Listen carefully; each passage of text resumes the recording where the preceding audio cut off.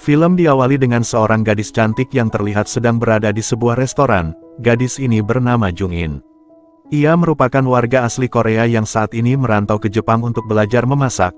Belum sempat menikmati susinya terjadilah sebuah gempa yang membuat orang-orang panik. Yeon Jung In mempunyai fobia dengan gempa juga histeris keluar, hingga ia menabrak seorang pria yang saat itu tengah mengabadikan momen terjadinya gempa. Pria ini adalah Do Hyun kemudian mengajak Jong In untuk pergi ke suatu tempat yang aman dari gempa. Do Hyun membawa Jung In ke rumahnya yang telah dirancang dengan arsitektur Jepang anti gempa. Pada awal bertemu Do Hyun sudah mulai tertarik dengan Jong In karena ia sopan, dan cara bicaranya yang lembut. Terlebih lagi Jong In juga jago memasak, tujuh tahun kemudian ternyata paras Jung In berhasil memikat hati Do Hyun, sehingga mereka memutuskan untuk menikah. Pagi itu terlihat Jung In sedang bertengkar dengan seorang pengantar koran, perihal Jong In yang tidak mau lagi menerima koran di rumahnya, Do Hyun yang paham akan tingkah istrinya, langsung meminta Jung In untuk masuk ke rumah. Di sini sikap Jung In tidak seperti awal bertemu yang sopan dan lemah lembut, namun sebaliknya Jung In berbicara dengan nada kasar dan keras. Ia juga sangat suka memaksa Dohyun untuk memakan masakannya, bahkan saat Dohyun sedang buang air besar. Bahkan Jung In juga tidak pernah membereskan rumah dan pakaiannya, sehingga rumah menjadi sangat berantakan, Dohyun seperti ditipu habis-habisan akan tingkah Jung In, yang berubah setelah menikah, ternyata sikap sopan dan bicara lemah lembut yang ditunjukkan Jong In saat awal kenalan hanyalah, karena ia sedang berlatih berbahasa Jepang. Lanjut cerita Dohyun dan rekan-rekan kerjanya yang lain sedang mengadakan rapat dengan direktur.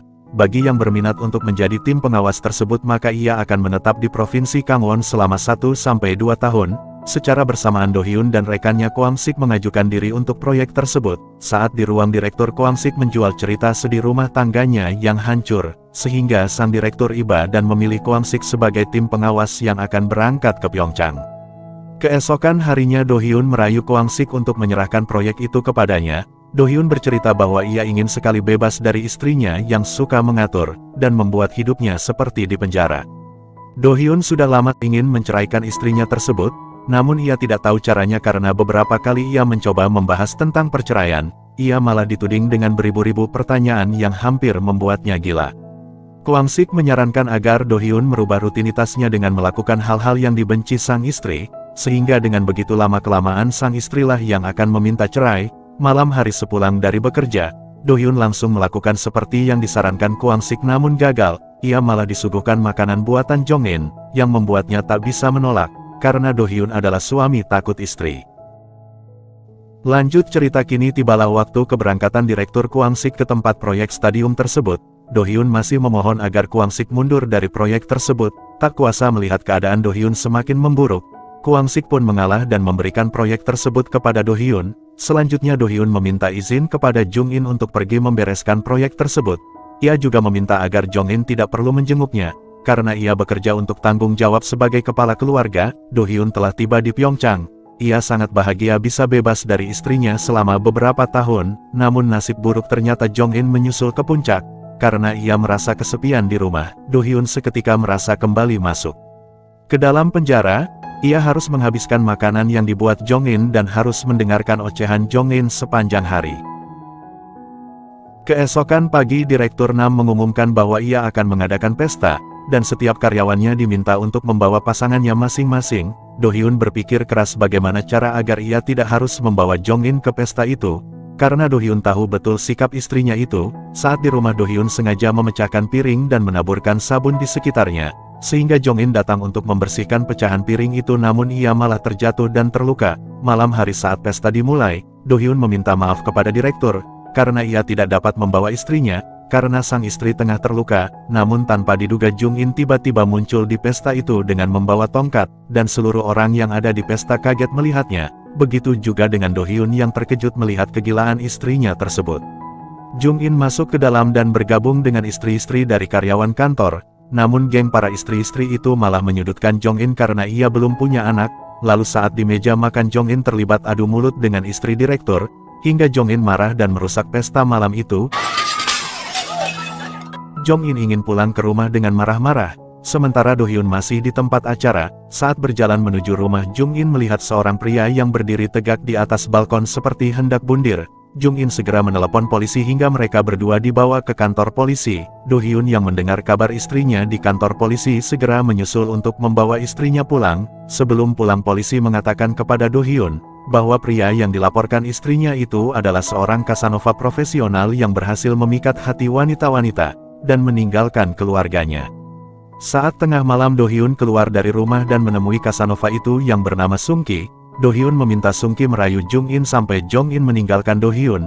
Ia mengatakan bahwa sudah putus asa dengan kehidupan rumah tangganya yang seperti penjara, dan memilih istri yang bagaikan benalu. Awalnya Sung Ki menolak untuk membantu, hingga Do Hyun mengancam akan bunuh diri, dan akhirnya Sung Ki pun menerima tawaran tersebut.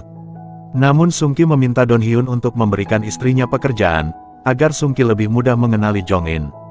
Keesokan paginya Do Hyun menyewa orang radio agar mau mempekerjakan Jong In sebagai pembawa acara. Do Hyun meminta pembawa radio itu untuk mengulas lebih dalam hal-hal tentang Jung In, agar Sung Ki dapat menggali data diri Jung In dengan mendengarkan siaran radio tersebut. Lalu setelah Do Hyun mengajak Jong In untuk minum di sebuah coffee shop, saat Do Hyun memesan kopi Sung Ki juga ada di tempat itu mencoba datang ke meja Jong In, dan mengajaknya mengobrol. Lanjut cerita Do Hyun dan Sung Ki kembali bertemu untuk membicarakan rencana selanjutnya. Sung Ki mengatakan bahwa Jung In bukanlah wanita biasa, dan ia meminta bayaran dua kali lipat untuk menangani kasus ini. Tidak ada cara lain lagi terpaksa Do Hyun menyetujui permintaan bayaran tersebut. Kini rencana meluluhkan hati Jung In terhadap Sung Ki dimulai. Langkah pertama Sung Ki meminta Do Hyun menulis semua yang ia ketahui tentang istrinya, Lalu di pagi hari Sungki menarik perhatian Jong In dengan membuang perabotan rumah yang masih bagus, sehingga mereka berakhir dengan minum teh bersama. Saat itu Sungki dengan sengaja meninggalkan barangnya di rumah Jong In, sehingga wanita itu berkunjung ke rumah Sungki untuk mengembalikan barang yang tertinggal. Namun sepertinya niat awal yang hanya ingin memulangkan barang-barang malah beralih ke minum bersama. Di sini mereka mengobrol bersama dan semakin melemparkan gombalan, Sedangkan di rumah Dohyun sepertinya khawatir dengan keadaan Jong In yang menyetir sendirian ke Seoul. Ia mencoba menghubungi istrinya itu namun tidak ada jawaban. Lalu Dohyun mengambil sebotol wine milik istrinya yang ternyata di botol itu ada surat. Di surat tersebut tertulis keinginan terpendam Jong In untuk melakukan program hamil sekali lagi. Dohyun langsung pergi menyusul Jong In ke rumah sewanya di Seoul, sementara di mobil Dohyun melihat Sung Ki yang sedang mengantar Jong In. Mereka terlihat berbincang sebentar di depan rumah, dan Sungki hampir mencium Jongin sebelum akhirnya ia pamit pulang. Setelah itu Sungki keluar dari perumahan Jongin, Dohyun yang masih berada di mobilnya langsung melaju dan hampir menabrak Sungki.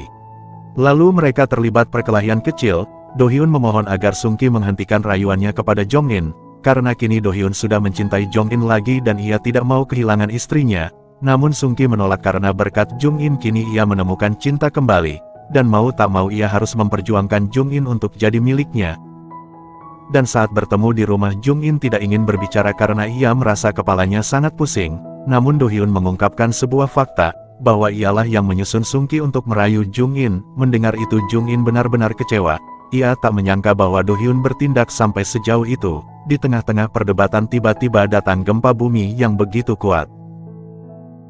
Singkat cerita tibalah persidangan perceraian antara Jong In dan Do Hyun, mereka terlihat duduk bersama menunggu gilirannya, di sini terlihat Jung In sudah lebih baik dari sebelumnya, dan Do Hyun juga sepertinya sudah ikhlas menerima keputusan yang dibuat Jung In. Mereka mengobrol tentang awal kali bertemu, dan asisten hakim menginfokan bahwa persidangan istirahat dan akan dimulai setelah makan siang. Do Hyun lalu mengajak Jung In untuk makan siang bersama. Mungkin ini adalah makan siang terakhir untuk mereka sebagai pasangan suami istri, saat di restoran Dohyun menunjukkan perhatian kecil kepada Jung In, dan scene pertama mereka bertemu saat gempa itu terulang kembali. Mereka berdua tersenyum malu mengenang kenangan itu. Di akhir film terlihat asisten hakim yang memanggil nama Dohyun dan Jung In untuk melakukan persidangan. Namun mereka tidak kembali ke persidangan itu, dan dapat dipastikan bahwa mereka tidak jadi bercerai, dan film pun selesai.